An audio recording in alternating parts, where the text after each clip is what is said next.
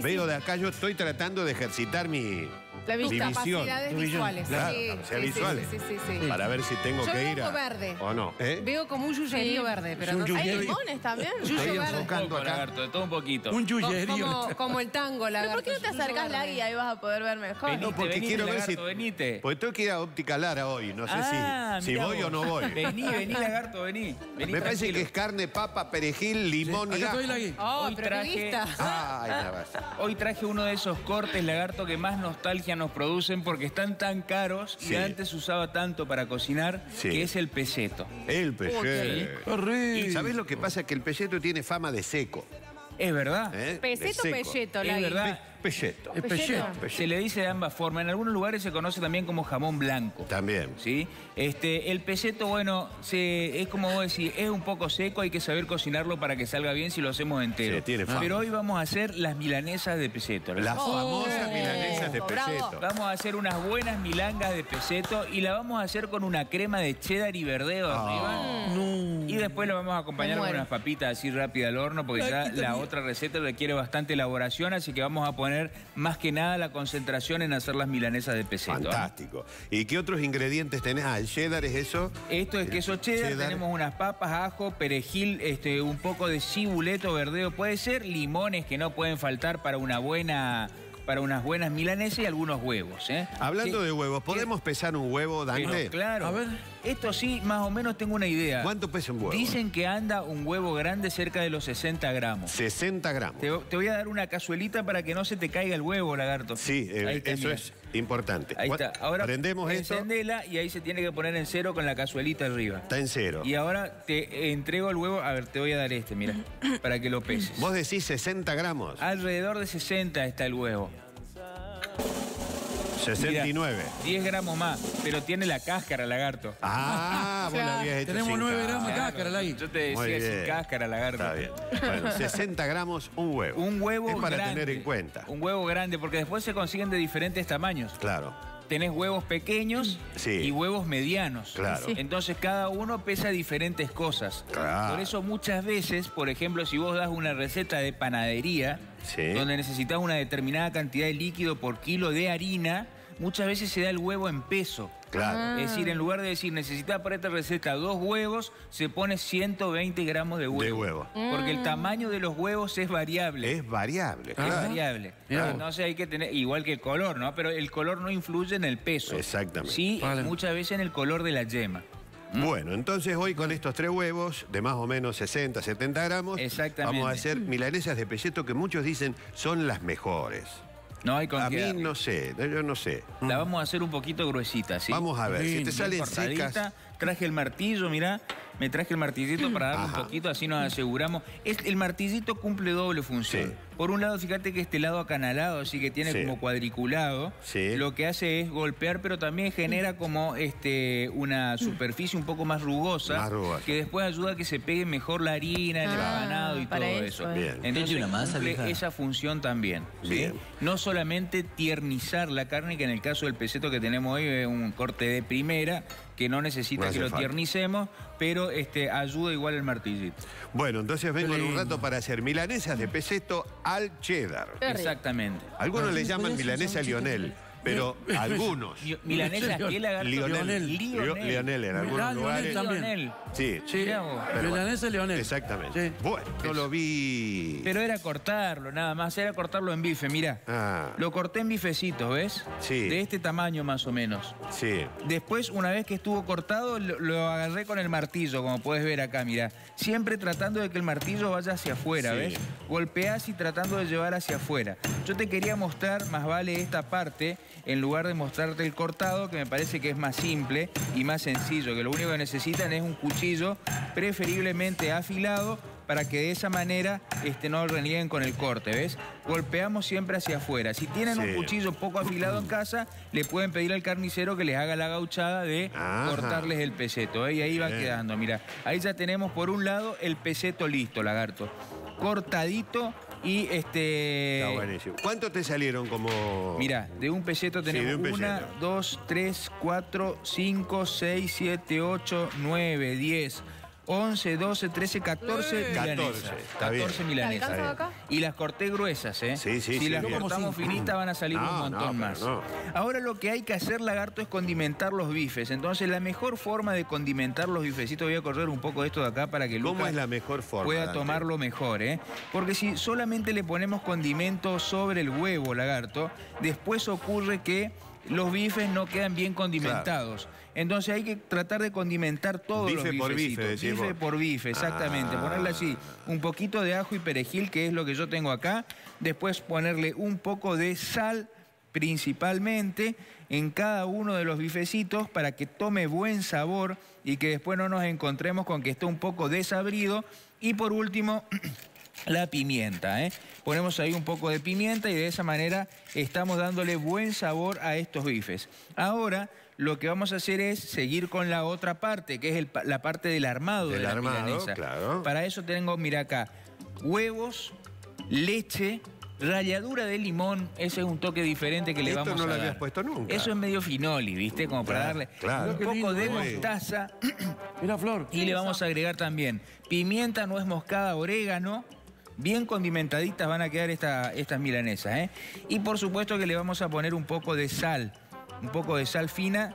No, no se preocupen, parece mucho, pero Claro. en realidad lo que sucede acá, lagarto, es que en el huevo queda muy licuado todo este sabor y después este, queda muy suavecito. Así que no, muy, muy difícil que se pasen agregando sal este, eh, en, en- en este batido que estamos haciendo de huevo, mostaza y leche. ¿eh? Un buen preparado ahí, mezclamos bien de esta manera. Y ahora lo que vamos a hacer es pasar estos bifecitos que ya tenemos condimentados por harina primero siempre.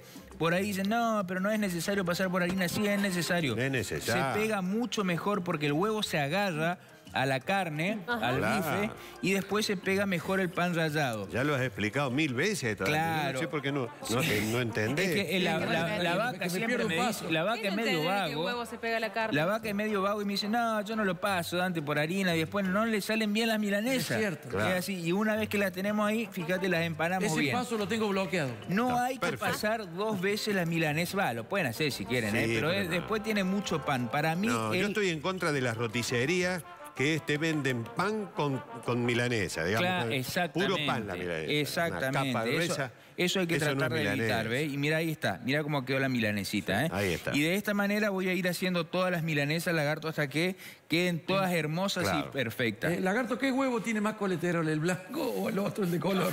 Yo, hay que preguntarle a Sabac.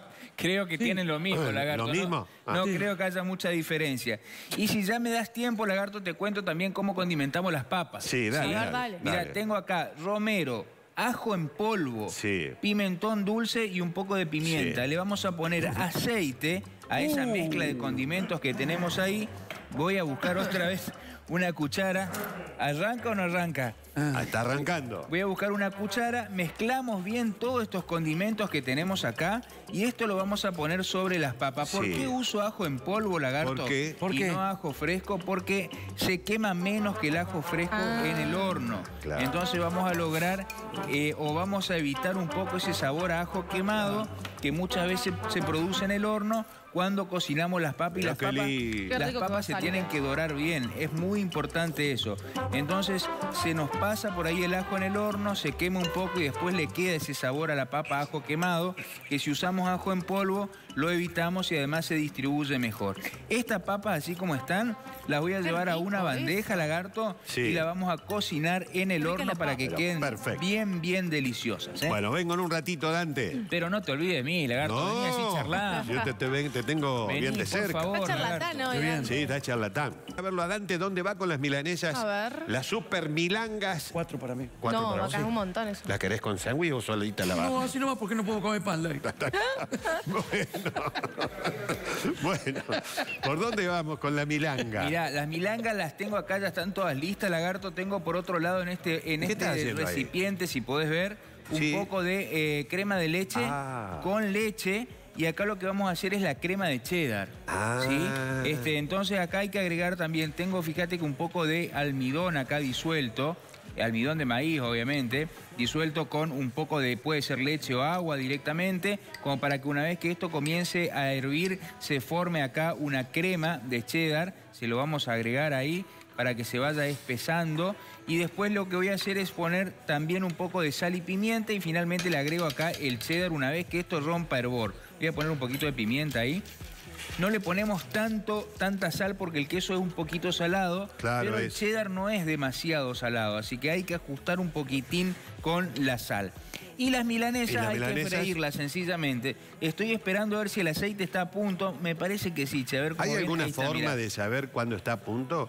Un amigo mío, cocinero, lo hacía con un palillo. Con un palillo. Sí, y si se le formaban esos grumitos alrededor del palillo, decir, está. Mira, no lo hice nunca, ¿No lo pero puede nunca? ser, puede Sí. ser. Que como que se empieza a freír el palillo, digamos. Claro, debe ser una técnica. No, yo le veo como unas vetas al aceite, Ah. pero bueno, esto pasa que yo ya Claro, tengo muchas mucha- freídas encima, le veo Claro. como unas vetas al aceite que comienzan a irse una vez que llega a la temperatura adecuada. Ah, mirá vos. Este, fíjate cómo ahí se fríe. Esto es importante tener en cuenta que lo ideal, lagarto, es que sea una fritura profunda. Profunda. Es decir, que tenga mucho aceite para que la milanesa quede 100% cubierta. En una sartén generalmente entra poco aceite, entonces ¿qué pasa? El aceite se termina calentando demasiado Sí. y el pan rallado que va quedando en el fondo se termina quemando.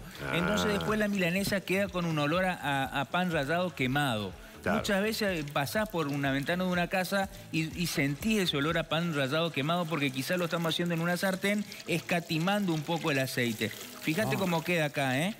Ahí No le sale merme. perfecta, vos, qué ¿ves? bien, che, ¿y se Sale cocinó hermosa. todo? Eh, Se cocinó perfectamente esta milanesa, ¿eh? entonces así vamos haciéndolas. La pueden pasar también, hay una técnica que es pasar la milanesa por una olla con agua debajo de la canilla Sí. para sacarle el aceite. Funciona, ¿eh? ¿Funciona? Se puede hacer si quieren, es una técnica que usaba la abuela, pero mirá cómo quedó este lagarto, se quita, ¿ves?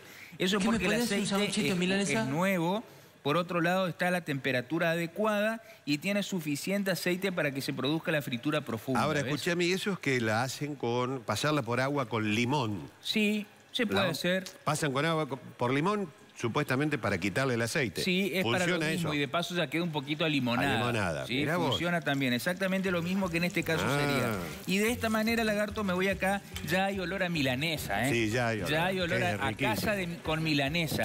Nada más lindo que llegar de Nada la escuela y que en tu casa haya olor a milanesa. Sí, o sí, decir, sí. mi amor, se viene la milanesa con puré, con papa. Qué lindo. Riquísimo. Así que bueno, hoy tenemos milanesa para todos, lagarto. Bueno, muy bien, señores, qué rico. Y además milanesas de primera porque son de De peseto. ¿qué Eh, más querés? peseto. Muy bien. Bueno, lo voy a recibir al doctor. La- Voy a verlo adelante porque está en un proceso Mirá. muy Uy, no. complicado Me de la estaba mañana. faltando acá la última Oh, parte que no. arriba de las milangas, lagarto. Ah. Una buena cantidad. de- Déjame una sin. Le dejamos una sin ningún Déjame problema. una sin. ¿eh? Cierto que vos sos un clásico. Sí. Y por Espectacular. último le vamos a poner un toquecito así de Mirá. cibulet y le terminamos No, se me acá hace con boca. unos gajitos de limón para que le quiera poner limón a las milas. Qué recetón el de de, todo hoy. un poquito, ¿eh? completita, bien casera y deliciosa la receta que hemos preparado hoy, lagarto. ¿eh? Qué lindo. La verdad que queda impactante. Es un Qué plato Un impactante. plato de la gran 7. No, no, no es solo para vos, Vaquita, es para cuatro. Claro. No, No, yo, te no. pedí, yo te pedí cuatro para mí. No, no, no. No alcanza, vaca. Bueno, eh, vamos a ver los ingredientes. ¿Cómo no? Tengo hambre, Lai. Entonces le mostramos los ingredientes que utilizamos para la milanesa, un peseto, medio kilo de pan rallado, dos huevos, harina en cantidad necesaria, condimentos a gusto, una cucharada de mostaza, la ralladura de un limón y ajo y perejil. Y para la salsa utilizamos Sí. 300 gramos de cheddar, eh, medio litro de leche, 30 gramos de almidón, una cucharada de crema, sal y pimienta. Y por último para las papas, un kilo de papas, aceite y condimentos a gusto, lagarto. ¿eh?